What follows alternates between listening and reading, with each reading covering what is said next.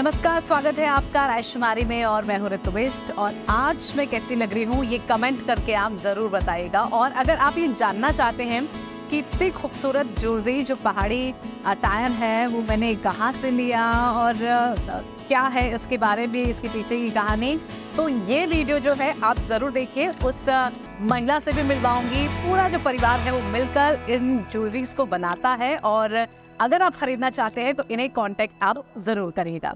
तो हमारे साथ है गौरी जी और इन गौरी जी को आपने देखा होगा इनका जो एक रील है वो बहुत फ़ेमस हुआ था। जहाँ ये ट्रेड फेयर में गई थी और वहाँ पर जो पहाड़ी मसाले हैं जो पहाड़ी चीज़ें हैं उनके बारे में बताया था और जो पहाड़ी ज्वेलरीज है उनका भी इन्होंने स्टॉल लगाया था और खूब उसको लोगों ने पसंद किया था। तो गौरी जी अ, कैसा लगा उस रील के वायरल होने के बाद और रिस्पॉन्स कैसा आप लोगों को मिला है? रिस्पॉन्स तो बहुत अच्छा मिला। बहुत सारे लोगों ने बहुत प्यार दिया और सिर्फ़ मतलब आप सिर्फ़ उत्तराखंड के लोगों ने ही बाकी देश प्रदेश के लोगों ने भी बहुत प्यार दिया। लोगों ने हिमाचल से फ़ोन किया हरियाणा से फ़ोन किया बिहार से फ़ोन किया बहुत सारे लोगों ने फ़ोन किया और खरीदा भी सामान और बहुत अच्छा लगा उन्हें कि हम लोग महिलाएँ एक समूह बनाकर अपनी पारंपरिक जो भी चीज़ें हैं उनसे जुड़े हुए हैं। हम्म, तो ये जो ज्वेलरी बनाने का पैशन ही कह लीजिए आपका कि आप इसमें काम कर रही हैं। तो कैसे ये सोचा और कैसे इस तरफ़ आप आगे बढ़ रही हैं? क्योंकि हम देख रहे हैं आपके जो हस्बैंड है, वो भी आप साथ इसमें दे रहे हैं। हाँ जी। तो क्या बोलते हैं, मैं, मेरे को बहुत शौक था ज्वेलरी का और हमारी पारंपरिक ज्वेलरी है, बुलोबल और चंद्रहार, हमारे गाँव में सब पहनते हैं। तो हम लोगों को ये था कि हमें बनाने का शौक था तो हम लोगों ने सोचा कि अपनी ज्वेलरी बनाए, चांदी की बनाए और अलग अलग तरीके से बनाए जो लोगों को पसंद आए और ये बहुत पसंद आती है लोगों को पहले हम लोगों ने घर से ही शुरुआत करी और फिर अब धीरे धीरे से ब्रांड बनाया और अब नए नए अपने डिज़ाइंस बनाने शुरू कर दिया हम्म। तो हस्बैंड का सपोर्ट आपको कैसे मिलता है उनका जो हिस्सा है उनकी जो पार्टनरशिप है वो कैसे आपको इसमें हेल्पफुल करती है? हम दोनों की ग्रेजुएशन एक साथ कंप्लीट हुई। हाँ। और जब हमारी प्लेसमेंट आई तो जो नौकरियाँ थी वो बाहर की मिलती हैं। या तो दिल्ली जाना पड़ता है या बॉम्बे जाना पड़ता है। कोई भी नौकरियाँ देहरादून में नहीं मिल रही थी या उत्तराखंड में नहीं मिल रही थी। और जो जो नौकरियाँ उत्तराखंड में मिलती हैं उसके जो मालिक होते हैं वो उत्तराखंड के होते ही नहीं है। वो मालिक होते हैं बाहर के। तो हम बाहर के लोगों के लिए काम क्यों करें जब हम खुद का काम कर सकते हैं और अपने ही उत्तराखंड में रह के काम कर सकते हैं? तो हम किसी बाहर कंपनी के लिए या किसी और के लिए काम क्यों करें? तो आज जो हम काम कर रहे हैं उससे हमने चार लोगों को रोज़गार दिया है। और अपने ही उत्तराखंड में बैठ के अपने ही उत्तराखंड के पारंपरिक वेशभूषा और आभूषणों को बढ़ावा दे रहा है।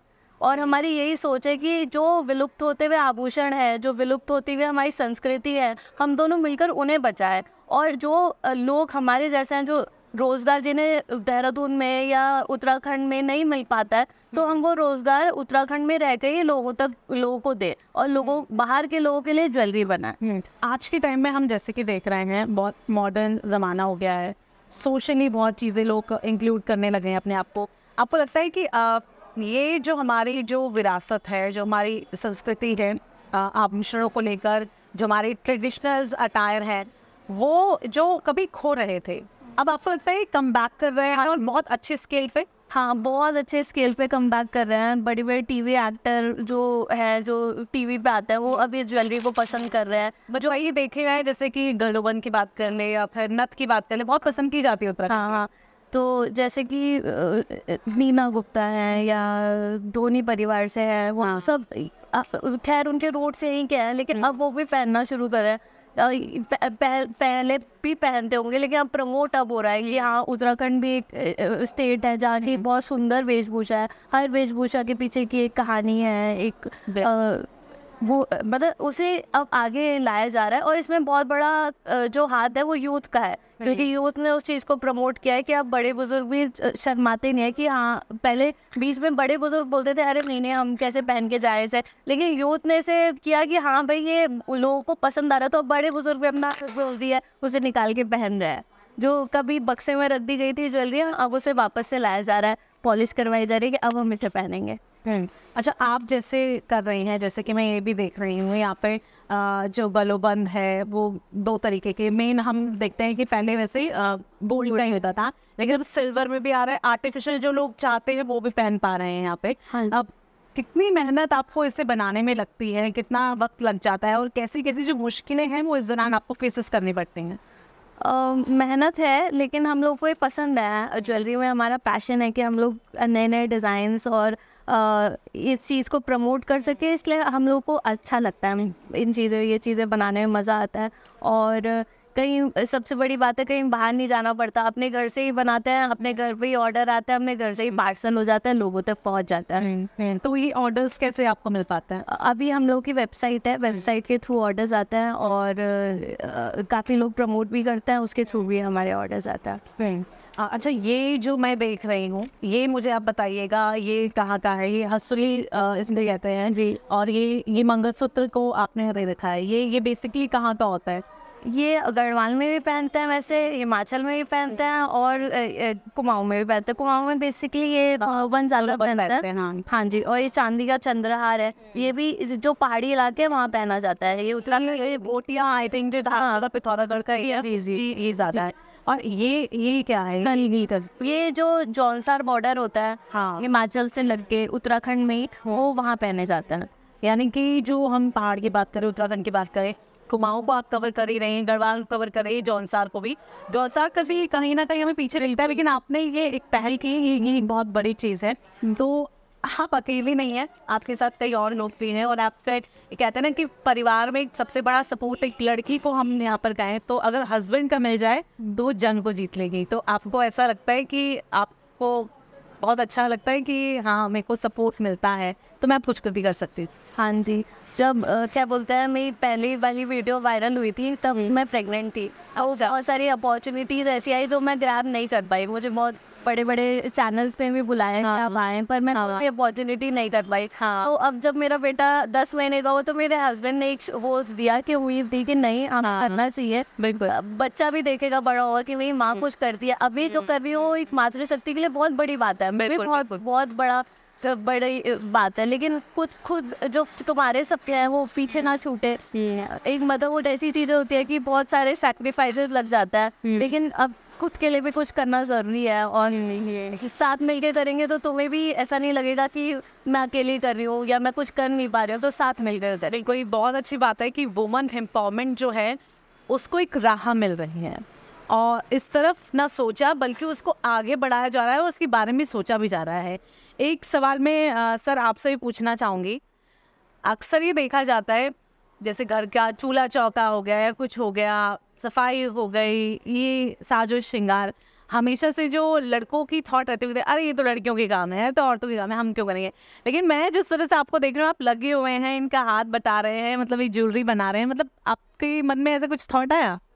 नहीं नहीं मुझे तो लगता है कि आ, हम दोनों में देखा जाए तो मेरी वाइफ ज़्यादा एक्टिव हैं उनको मतलब चीज़ें करने का ट्राई करने का चीज़ें बनाने का या नई नई चीज़ें स्टार्ट करने का इनको शौक है।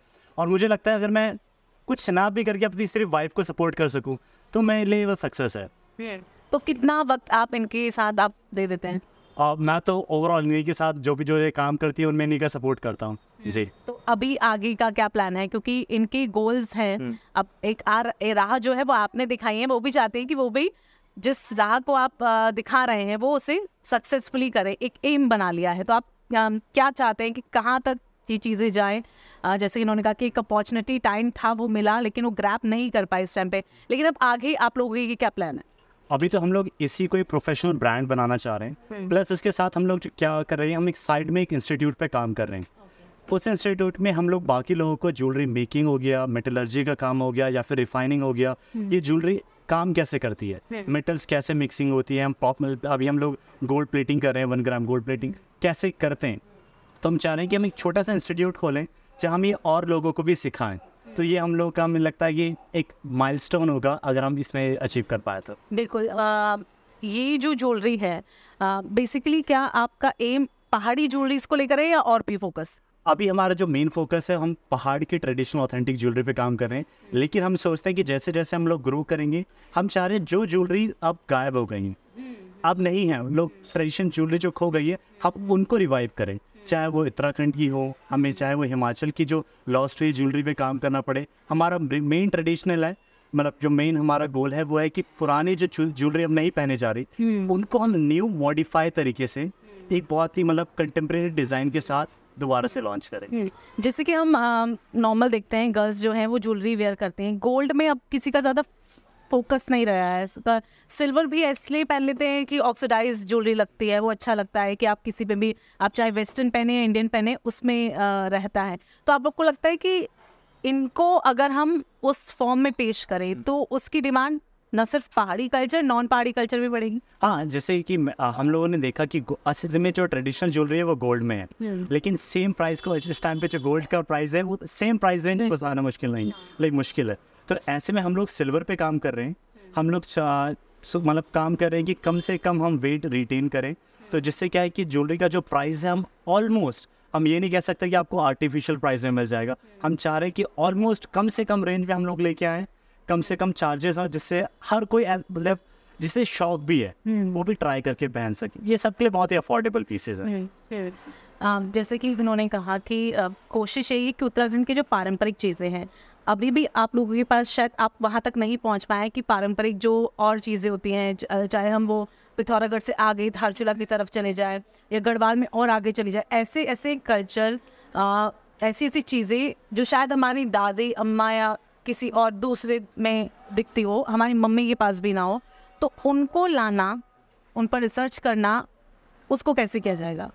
अभी तो हमने जो शुरुआत करी वो घर से करी। घर में देखा जो लोग जो पहनते हैं और जो चीज़ें हम लोगों ने घर से देखी वो चीज़ पे पहले शुरुआत करी। लेकिन अभी गाँव भी हमारा बहुत बड़ा है तो वो गाँव में जाएँगे लोगों से बात करेंगे। जो आ, जो पूरा हिस्ट्री है वो बड़े लोगों के पास है। तो उनसे बातचीत करेंगे और जो छुपी हुई या कहीं विलुप्त होती हुई ज्वेलरीज है उनको वापस लाने का कार्य करेंगे। इसमें इसीलिए हम लोग एक इंस्टीट्यूट बनाना चाहते हैं जिसमें प्रॉपर एक रिसर्च हो। हम जैसे कि डेली वेयर में गर्ल्स यूज़ करते हैं तो ऐसा रहता है कि आप चीप एंड बेस्ट और वेराइटीज़ जो है वो ज़्यादा हों। तो ऐसे कुछ आर्टिफिशियल में भी आपका प्लान है या अभी आप सिल्वर तक थोड़ा सीमित रहना चाहते अभी तो हम लोग सोच रहे हैं कि सिर्फ़ जी आर्टिफिशियल मार्केट में बहुत सारी चीज़ें हैं। वो यूज़ एंड थ्रो होते हैं लेकिन एट द एंड क्या है उनकी कोई वैल्यू हम लगता है वैल्यू नहीं।